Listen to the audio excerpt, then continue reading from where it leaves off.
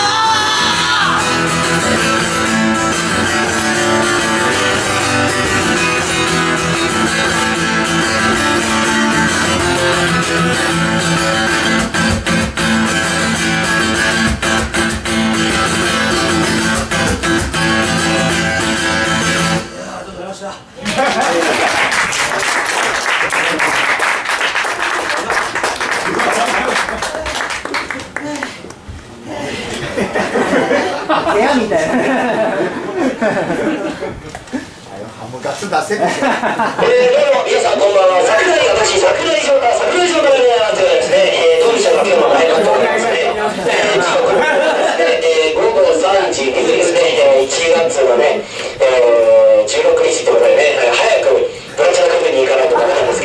けど、家からわけでりますけどね、いや、本当に、あれですよ、本当に、なんか、しちゃったりして、それでなんか、来ちゃったりしてね、本当に大丈夫かなと思ったりするんですけどもね、まあ、基本的に今、明るくなったじでね。本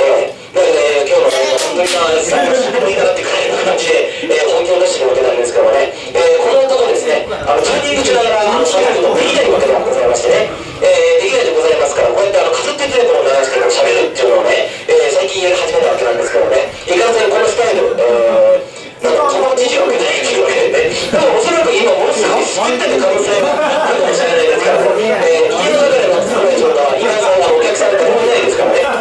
一人でべってるだけですからねでき